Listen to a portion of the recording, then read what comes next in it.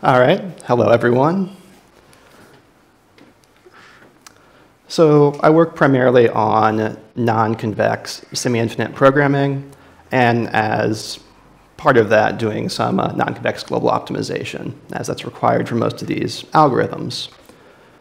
And I was trying to implement one of these routines to essentially handle semi-infinite equality constraints in these non-convex programs. And I ran into this issue, which was I needed to develop a special type of relaxation in a global solver to make this work. Well, there are a lot of great platforms for taking existing solvers and putting them into meta-algorithms and doing structured programming, but most of the existing packages sort of stop at the actual global solver level as far as what you can play with. So you look around at the existing open source solvers, they all take a fairly standard form. And that's not what I can actually use for this algorithm. So you run into a bit of a problem. And we decided to address this by introducing our own modular global optimization package in Julia. Since Julia is pretty optimal for developing low-level routines that allows users that want to do this um, some flexibility without a lot of time constraints. And we figured we could integrate this into JuMP um, and really be the first uh, McCormick relaxation-based solver to be publicly available, and hopefully uh, tag along to other people's work using uh, standard benchmark libraries, which are previously difficult to do with these techniques. Ah, other way. So for most of this talk, I'll be discussing the relaxation techniques we're actually using with this. They're fairly different from the standard. And I'll then talk about how these tie into our um, modular global solver package. And I'll discuss some of the library of tools we've developed where we can sort of pull into our generic branch and bound scheme if you want to use them. And I'll conclude with what I'm really excited about right now, which is how we actually can um, introduce rule sets to reformulate global problems in sort of interesting, odd ways where the user has some control over these. So as a chemical engineer, most of the models I work on look something like this as we simulate them. We have a block diagram, a lot of uh, linking connections here, and inside these blocks you have highly non-convex and often non-smooth physics taking place. But for the most part, you can only really play with a few of the variables in your system. You can open a valve, you can add more power to a heater, but once you do that, you set temperatures, you set pressures, and those help you determine what the overall cost of the system will be. And this creates this natural dichotomy between control variables and state variables. So if I were to um, attempt to solve a convex problem that's differentiable, that's a simulation, there's a pretty standard approach to this which is you take that simulation, you wrap it with an automatic differentiation scheme, you pass it to a local solver, and if everything goes well, you're done. Well, with non-convex programs, you have to generate relaxations, which is fairly difficult. And I'm going to present the way of doing this, um, which is based on initially McCormick's paper from 1976, where he introduces this decomposition method for bounding bilinear fu functions. Essentially, you can take a bilinear term and relax it as four inequality constraints that are linear.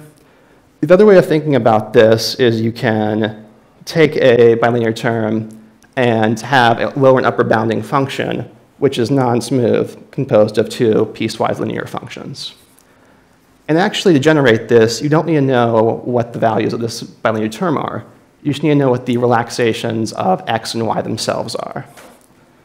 So if you couple this with the following composition rule, where if you know the relaxations of interior functions, and generally what the form of these exterior functions are, you can, via method overloading, build convex and concave bounds of functions.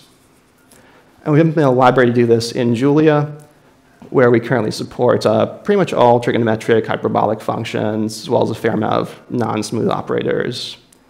And this can easily be extended if you know the convexity properties of most standard functions. So error functions, things defined by intervals that might be convex or concave, um, which aren't necessarily available in standard libraries. So we do this by defining a structure where we hold the relaxations. We also hold vectors, which may be either subgradients or gradients, depending on how we set our settings in our library. And this in turn with, when we uh, overload these with standard arithmetic operators. So we can generate these relaxations of each of our operator based on convexity rules. And in most cases, these are fairly simple. So if you look at the hyperbolic tangent, well, it's convex over one region, it's concave over the other. So we're going to do a convex relaxation consisting of the function up to a point, and then you just take a line segment after that. So if we want to use this relaxation style in Julia, what you can do is essentially load our EAGO package, define your function. Since we're taking a relaxation, which is a function rather than an interval bound, we have to define the point at which we're taking the relaxation, as well as what a seed subgradient would be. So what some unit vector that has a coordinate corresponding to each uh, variable. And then the interval over which we're going to take the relaxation.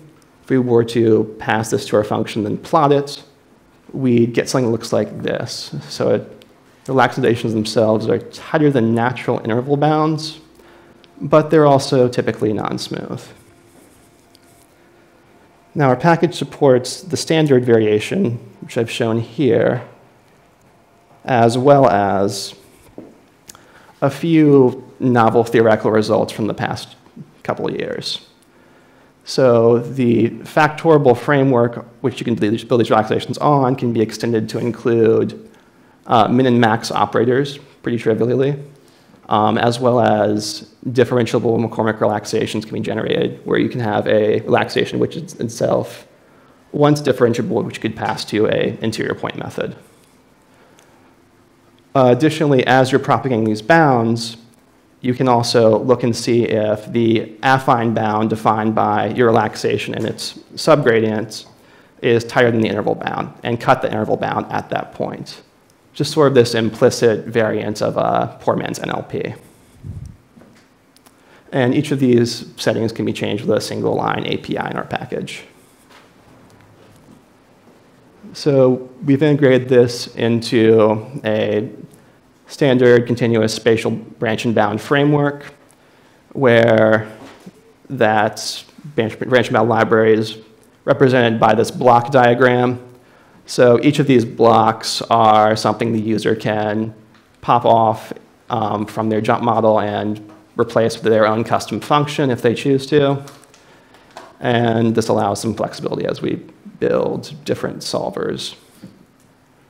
And when you're actually generating these McCormick relaxations in this framework, you typically use them for the during the lower bound or doing some pre-processing. So you use the differentiable variant with NLP solvers, or you take a affine relaxation of your final relaxation. Uh, yes? Sorry.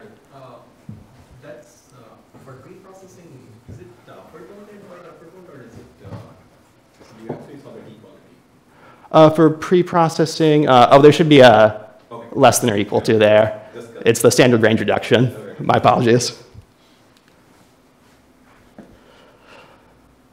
Okay. And we've implemented this in a uh, solver that interfaces with JuMP, where we're going to sort of keep our best-in-class McCormick-based solver available. And right now we can do interval constraint propagation, use LP contractors, as well as do standard range reduction with the solver. And we can also do duality-based bound tightening. So the nice thing about McCormick relaxations is that they're typically quadratically convergent, and they're tighter than interval bounds. Additionally, you often recover constraints in a very, fairly tight form when you pass them through this overloading process. So if you were to define linear relaxations via script, and you take the McCormick relaxation, you get the exact linear function back. If you do it with fairly simple convex functions, you often get a very tight relaxation of the convex function. Um, And this really helps with the clustering problem that's pretty common in global optimization, where if you have weak relaxations around uh, global optima, you get more and more and more subdivisions, and you almost get this exponential scaling number of boxes you have to evaluate to prove you have a global bound. So in this simple little example comparing our interval method to McCormick method, um, we still see a 30x improvement in the McCormick approach, even though this sample example really biases toward the interval method. And in this right part of the slide, we're just illustrating that instead of using one of our library of lower bounding problems, we could simply build the JuMP model, custom, define our custom uh, lower bounding function as an interval, and then solve that. No. So we have most of the expected console outputs for a global solver in terms of the current lower bounds, um, various gaps, and we've implemented most really common branching procedures for uh, continuous branch and bound. So why are these really interesting for these simulation-based models? Well, let's go back to the block diagram I showed in slide two. And in this case, it's an example from a Kahn's paper here, where he's looking to optimize the cost of this process approximated by a nitrogen flow rate, which is your highest cost driver in this case, where you can control essentially 10 different temperatures and pressures, and you can also essentially connect these streams that are cooling down in blue to streams that are heating up in red. And as a result, you can, you're trying to minimize the um, energy usage of your process and get the most return there. And this can be modeled as a pinch point energy balance, where you have the physical equalities of the actual blocks, in addition to this set of uh, max and min constraints. So if you were to formulate this in BARON, which was done, it would require 173 continuous variables, 360 binary variables, 1,200 constraints, and it would still be a mixed integer nonlinear program. And if you look at this from a non-smooth approach where you're overloading the simulation, you get 10 variables. And as a result, if you use this McCormick approach for this simulation, and you use a fairly primitive branch and bound approach, there are some cases where you can get comparable performance to BARON in the literature. So, so, like, so the, I'm looking at the formulation, there's a simulation in addition to the maxes? Or what's the, Oh, can you repeat that? Sorry. so, so you have the maxes in formulas, where does that actually cause the non-differentiability issue? Yeah, that's why. simulation come into play? Yeah, you can essentially uh, take your input variables and just pass them to these, these constraints. And because we can overload max and min natively, you can just generate these constraints as the, basically as written. So the equality constraints that define your physics in the model don't show up. Trick for the maxes. um, Yeah, yeah. Okay, but, but you also mentioned simulation. Um, Is there simulation here, or? Yeah, so essentially you're treating it like as an automatic differentiation scheme where you have your control variables, which are your 10 uh, like temperatures and pressures you're setting, then you pass those through to your physics, um, which the, it's not on here. It's a fairly big simulation, so I omit it. Um, Uh, but it's like function is not the, is not f or the f's? uh, these are in addition to the actual physical constraints in the blocks. Ah, so there's somewhere else, there's a function that, that uh, runs simulation and returns the value, and you check if that is less or equal than something. Yeah, exactly. Yeah, defines the equality constraints, which you then use those relaxations from the equality constraints to overload these and your cost function. And BARON would be able to access that too. Uh, it can't do that. It has to formulate it as this mixed integer problem. Where- then approximate the simulation. Uh, yeah, so you're doing this like equation-oriented simulate build with BARON versus this. So Sort of script build. Smaller and also maybe more precise.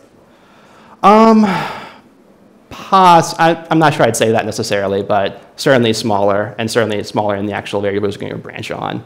And that's advantageous when you have these sort of implicit functions defined by these simulations.